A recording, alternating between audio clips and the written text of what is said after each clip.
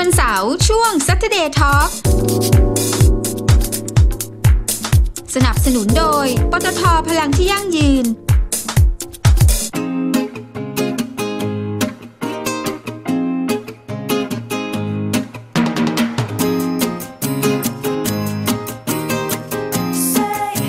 สวัสดีค่ะต้าเจ้าหาวคุณผู้ชม แปลกใจใช่ไหมคะที่ก๊อตมาทักคุณผู้ชมเป็นภาษาจีน เพราะว่าวันนี้เรากำลังจะมาพูดถึงเรื่องภาษาจีนกันค่ะ เราอยู่กันที่นี่ค่ะ Learning East นะคะ ศูนย์ภาษาและวัฒนธรรมจีนแนวใหม่ ว่าแต่จะแนวใหม่ยังไงนั้น เดี๋ยวเรามาพูดคุยกับเหล่าซื้อทั้งสองท่าน อยู่กับเราตรงนี้แล้วค่ะ สวัสดีค่ะ สวัสดีค่ะสวัสดีค่ะ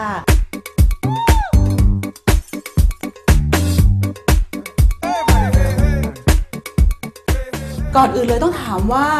เริ่ม ต้น Learning East มาได้ยังไง เริ่มจากว่าเอ่อเราซื้อโอนะคะค่ะเรียกว่าเราซื้อโอก็ได้เราซื้อจริง เป็นค่ะเอ่อเพื่อนกันนะคะแล้วก็เรียนภาษาจีนมาอืมทีนี้เราก็ชอบแล้วก็รู้สึกว่าภาษาจีนเนี่ยมีประโยชน์ อืมแต่ว่าสิ่งที่เราเจอมาเนี่ยเป็นการเรียนแบบว่าตามตำรา อืมแล้วเราก็มีโอกาสได้ไปสอนในอนุบาลค่ะค่ะก็ไปสอนที่นู่นแล้วก็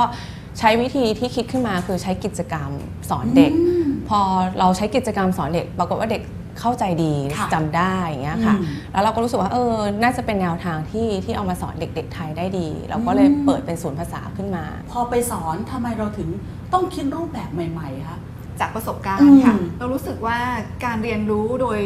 วิธีการแบบเดิมค่ะทำให้เราค่อนข้างเครียดอ่าแล้วก็รู้สึกว่ายากค่ะ นะคะแต่ประสบทีนี้การณ์ตัวเองด้วยใช่ไหมใช่ค่ะ อืม ก็เลยมีการท้อแท้บ้างในระหว่างทางค่ะในการเรียนนะค่ะ คะ แต่หลังจากที่เราปรับหลักสูตรแล้วเราอืมมาใช้กับเด็กอะค่ะอืมโดยการเล่นไปด้วย เพราะว่าเด็กๆเรียนรู้ผ่านการเล่นอ่านนะคะโดยการเล่นในการเล่านิทานค่ะโดยสอดแทรกวัฒนธรรมจีนเข้าไปเนี่ยอืมก็ทำให้เด็กๆสนุก แล้วก็สามารถจดจำได้ดีค่ะสอบถามว่าเขาจำคำศัพท์ได้ไหมเนี่ยได้ไหมเขาจำกันเขาได้ได้ไหมหมดเลยอ๋อเราก็รู้สึกว่าแบบโอ้โหน่าปลื้มใจนะคะอ่าแล้วอีกอย่างหนึ่งก็เสียงเพลงค่ะค่ะเสียงเพลงก็จะช่วยให้เด็กๆ สนุกแล้วก็จำคำศัพท์ได้ดีอืมากมหลักสูตรเป็นยังไงคะนึกภาพไม่ออก คือตอนเริ่มแรกเลยต้องย้อนไปที่ 6 ปีที่แล้วค่ะเนี่ยที่เราเริ่ม Learning East ต้องบอกว่าเรามีที่ 4 ขวบ เป็นอืมต้นไปก่อน เราเรียกว่าภาษาจีนสำหรับเด็กเล็กค่ะนะคะสี่ขวบขึ้นไปเนี่ยเวลาเราสอนเราจะเน้นฟังพูด กิจกรรมที่ใช้ก็คืออย่างที่จริงบอกเป็นนิทานบ้างเพลงบ้างนะคะอืมแต่ว่านิทานเนี่ยไม่ใช่ว่าเราหยิบขึ้นมาแล้วเราก็เล่าเฉยอืมๆแต่ว่าเราสอดแทรกคำศัพท์ภาษาจีนลงไปค่ะคำศัพท์ที่เขาเรียนในวันนั้นอืมทีนี้เด็กเขาก็จะเริ่มจำได้พอเขาเห็นตัวหนังเอ่อตัวละครหรือว่าสัตว์หรือว่าผลไม้อะไรอย่างเงี้ยค่ะอืมเขาจะเริ่มเรียกมันออกมาเป็นภาษาจีนค่ะคือได้เป็นคำคำใช่อืมจะได้เป็นคำคำๆก่อนค่ะเสร็จแล้วพอเขาได้เป็นคำเนี่ยพอเขาเรียนเลเวลต่อไปอ่าฮะเราก็จะมาปลูกเป็นประโยค คือพอขึ้นมาถึงเลเวลหนึ่งเขาก็จะเริ่มเรียนคำศัพท์อืมที่เป็นตัวเขียนหรือพินยินเขาค่ะเขาจะเรียกว่าพินยินนะคะพินยินค่ะใช่ตัวออกเสียงของภาษาจีนอืมทีนี้เขาจำคำศัพท์ได้แล้ว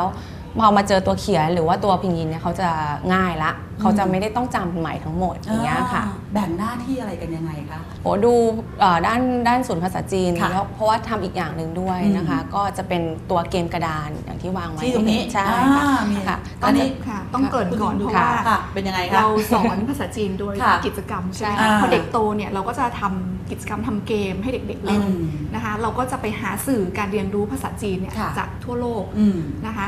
ทีนี้เนี่ยเราก็อย่างภาษาจีนเองเนี่ยเราใช้พวกบัตรคำศัพท์พวกนี้ค่ะนะคะ แต่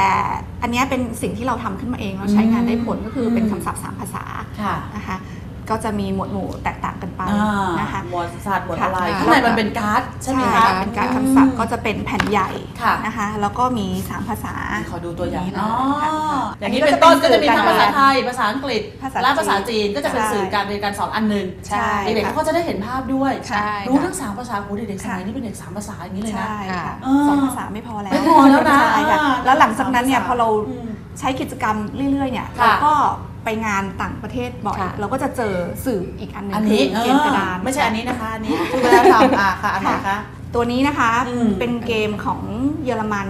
ส่วนมากจะเป็นของเยอรมันของอังกฤษค่ะอะไรอย่างนี้นะคะ เราเอามาทำคอร์สพิเศษเพิ่มอีกหนึ่งคอร์สเลอ๋ยอนะคะ โดยใช้ภาษาไทยในการสอนค่ะเพราะว่า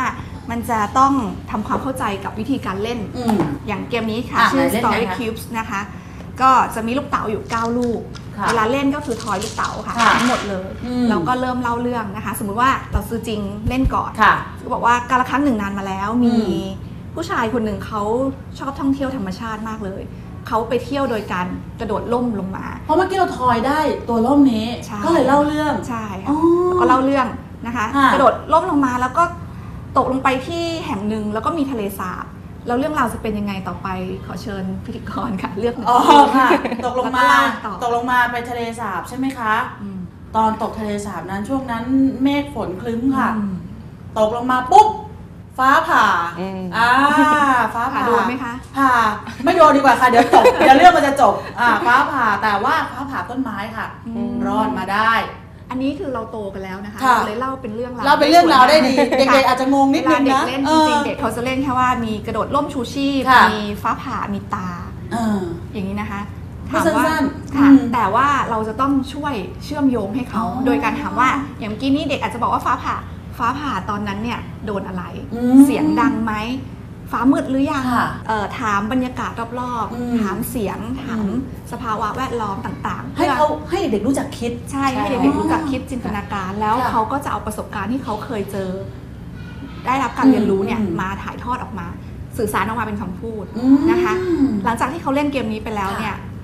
จากนั้นเนี่ยเวลาเขากลับบ้านหรือมไปไหนเนี่ยเขาก็จะมองอะไรเนี่ยจะมอง รอบด้านมากกว่า อืม ไม่ได้มองเป็นจุดจุดๆเดียว ค่ะ รู้จักคิดแล้วก็เอามาใช่วิเคราะห์ ใช่รู้จักตั้งคำถาม ใช่ค่ะ อืมการเข้าใจสื่อสารที่มีประโยชน์ค่ะได้ผลนะคะอืม ก็จะมีประโยชน์สำหรับเขาในอนาค่ะคต คุณผู้ชมสนใจแล้วจะมาค่ะมายังไงเรามีกี่สาขายังไงคะ ค่ะ ตอนนี้ก็ Learning East นะคะ ศูนย์ภาษาและวัฒนธรรมจีน Learning East อยู่ที่เดอะนายมีสาขาเดียวค่ะค่ะ อยู่ที่ชั้น 3 โซนการศึกษานะคะ ถ้าเกิดผู้ปกครองสนใจก็ดูได้ที่เว็บไซต์นะคะ learningeast.com หรือว่าโทรเข้ามาสอบถามกันก็ได้นะคะ ที่ 027167836 ค่ะ คุณผู้ปกครองสนใจค่ะจะให้มาเรียนก็ได้ หรือจะมาเรียนเป็นคอร์ส ใช่แบบนี้ก็ได้นะ มาพูดหรือคุยสามารถได้ดูรูปกิจกรรมที่ค่ะผ่านมาใน Facebook ได้อะค่ะเข้าไป search คำว่า Learning East เลยค่ะ เจอเลย เอาละค่ะ วันนี้ต้องขอบคุณทั้งสองท่านที่มา แนะนำเรื่องราวดีๆแบบนี้นะคะ ขอบคุณค่ะขอบคุณค่ะสวัสดีค่ะ คุณผู้ชมคะช่วงหน้าช่วง Style Limited นะคะ จะพาคุณผู้ชมไปร้านเล็กๆ ค่ะ ชื่อร้านว่าหอ Hidden นะคะ ร้านนี้อยู่ในตอกซอยเล็กๆ อยู่ในหลืบๆเลยค่ะ สมกับชื่อร้านจริงๆแต่เขาบอกว่าอาหารอร่อยแน่นอนเดี๋ยวกลับมาติดตามชมค่ะ